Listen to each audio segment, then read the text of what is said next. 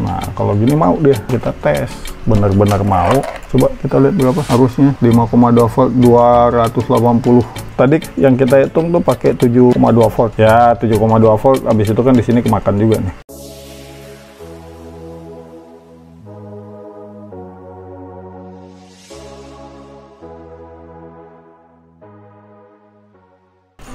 Jadi perbedaannya SP01 dengan Note MCU ya di pin outnya pertama pin out biasanya memori. Chipnya sendiri sama SP8266 dia juga SP8266 cuma ini di cover. Nah sisanya cuma ya boardnya aja. Ini ini CH berapa? 340 ini CP2102 USB TTL nah kalau dia ada USB TTL nya ini saya dapat dari random nerd tutorial.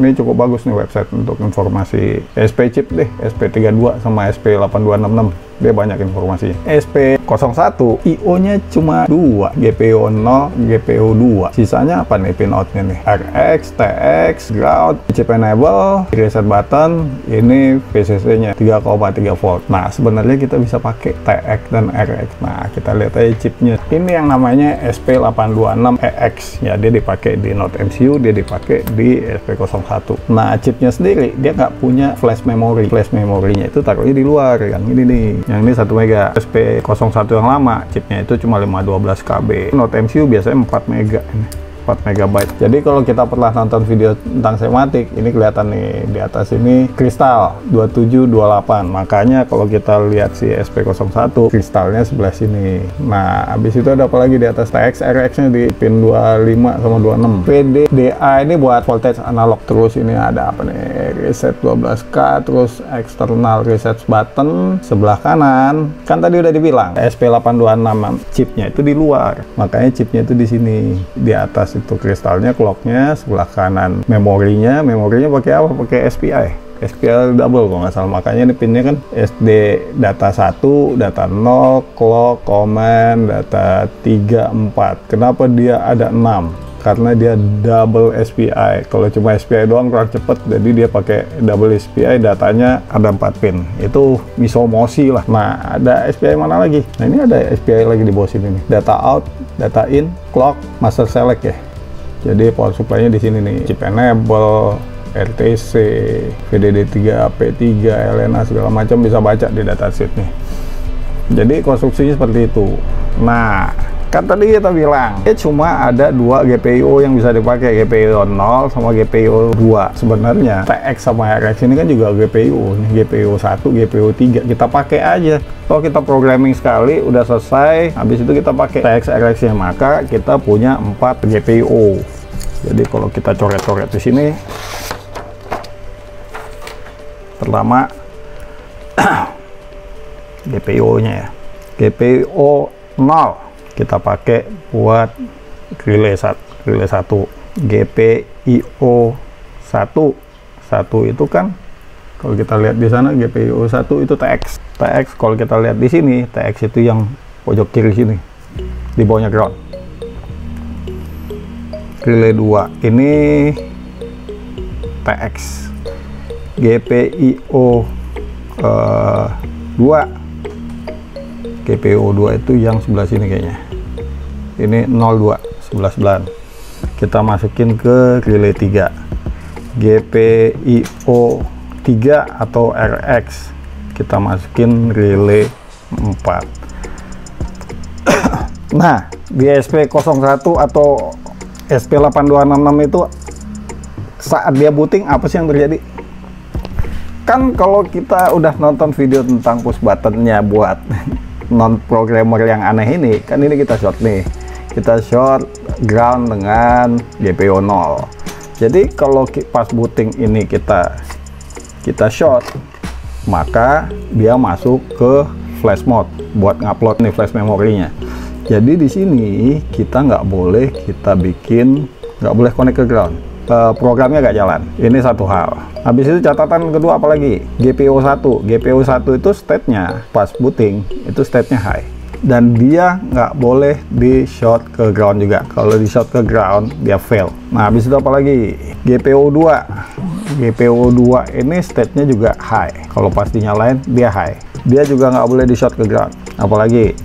GPU 4 GPO 4 ini state-nya high nah bagaimana kalau kita perlu lebih dari 4 IO kita bisa jumper sebenarnya. Ini chip-chip ini asal matanya canggih, bisa pasang jumper wire, ini bisa dipakai nih, yang sebelah bawah sini. Kita lihat aja sini. Ini kan nggak dipakai. GPU 14, GPU 12, GPU 4, GPU 5. Nah ini 1, 2, 3, 4 ini bisa kita pakai. Nah 15 ini bahaya. Kalau tadi dia di short ke ground, nggak bisa nyala. Kalau yang GPU 15 di high baru dia nggak nyala. Kenapa? Dia ini MTDO. MTDO ini apa? Chip select atau apa sih? Lupa saya. Pokoknya GPU 15 nggak boleh di pull up. Kalau di pull up nggak bisa puting jadi kita bisa tambahin IO lagi. Di 1 2 3 4 5 6 7 8 8 IO bisa kita pakai dari SP01 Oke, kita nggak usah muluk-muluk karena mata saya juga nggak cukup awas untuk nyolder yang kecil-kecil ini. Kita pakai aja TX sama RX. Saya punya breakout boardnya SP01. Ini kan tadi udah 5 volt, ini 3 volt. Kenapa saya kasih kapasitor ya? Biar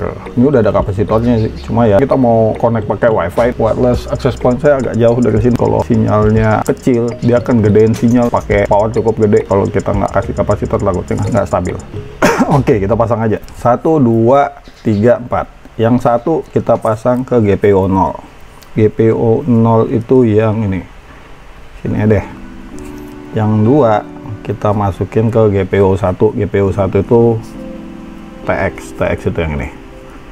Sebelah sini ya deh. Biar nggak mepet-mepet. GPU yang tiga ini kita masukin ke GPU 2 GPU 2 yang ini. Yang terakhir yang empat kita masukin ke ini RD RD paling ujung. Terus buat nyalain si SP01 kita perlu VCC sama chip enable. Ini kita kasih ke 3,3 volt. 3,3 volt di atas sana berarti kita perlu dua jumper wire nih. Ini VCC di ujungnya deh terlalu mepet. Kita masukin ke 3,3 volt. Chip enable chip enable itu yang saya nggak lari kan. Kalau lari ntar dia masalah. Sini kita masukin ke 3,3 volt ground kita kasih ke ground. Bebas aja sih ground sini sama sana groundnya sama aja. VCC ke 5 volt. Eh jadi VCC ke 5 volt. VCC yang ini ke 3 volt ground ke ground.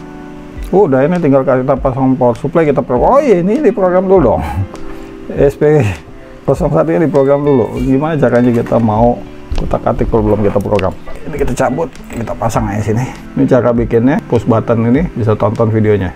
Ini kita langsung masukin aja sambil dipencet.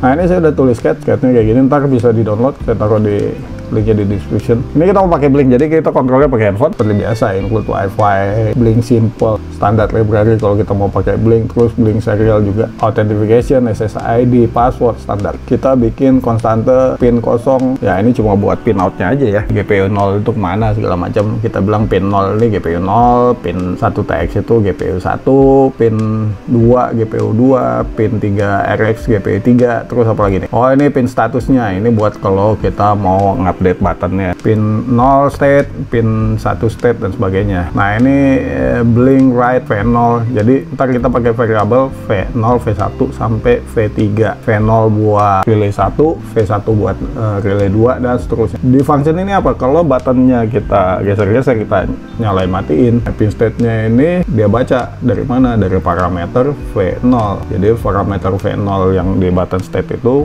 nyala atau mati dimasukin ke pin 0 state. Habis itu digital write pin 0 pin 0 ini kan yang kita definisi tadi nih pin 0 itu ya GPO 0 state nya apa? Sesuai dengan pin state yang dibaca dari pin 0 setelah itu ini ada if condition if pin state sama dengan high let pin 0 ini gunanya kalau dia high let widgetnya nyala. Sisanya kalau dia nggak high matiin. Udah ini ada 4 biji di copy aja sama. Setelah itu apa? Kita masuk setup. Kita bikin serial begin ya ini sebenarnya nggak penting banget. Cuma yang penting mulai dari sini ya. Pin mode pin 0 1 23 kita definisi sebagai output kita update statusnya. Semuanya jadi high. Setelah itu kita bikin komunikasi blink sesuai dengan ini authentication SSID pass IP address bla bla bla portnya sekian karena saya pakai local blink server nggak di cloud. Nah setelah blinknya nyala baru kita update nih V0 sampai V3 nya. Nyalain semua. Di loopnya apa? Ya cuma ini blinkan doang nggak ada yang lain. Nah widget gimana definisinya? Tadi saya lupa. Widget pakai virtual pin 20 21 23 kita kasih nama widgetnya LED pin 0 sampai LED pin 3 nilainya virtual pin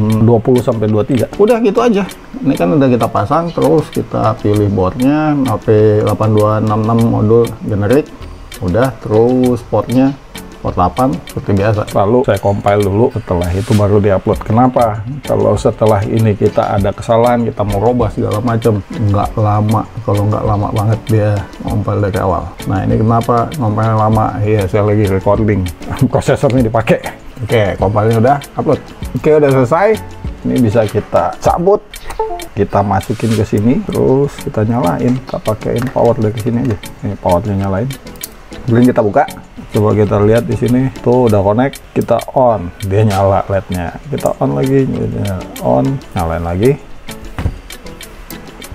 Nyala mati mati mati mati kayak gitu caranya. Dengan SP01 bisa 4 TU kita pakai. Oke jadi kita udah bahas JDVCC itu apa. Walaupun definisinya saya juga nggak nemu di internet JDVCC itu singkatan dari apa. Tapi gunanya buat power supply yang kedua. Oh ya ini kita belum tes. Kalau kita nyalain semua berapa sih powernya? 570 mAh jadi kita bahas relay ini kenapa suka gagal kalau dia pakai not MCU karena ya power supply kurang itu problematika yang pertama multi channel relay dengan not MCU Nah, di situ apalagi kita bisa pakai 4 GPU dari SP01 ini. Jadi TX sama RX ini GPU 1 dan GPU 3. Oke, itu aja. Semoga bermanfaat. Kalau ada penjelasan saya yang salah, seperti biasa tolong tulis di komentar, tolong dikoreksi. Terima kasih. Assalamualaikum warahmatullahi wabarakatuh.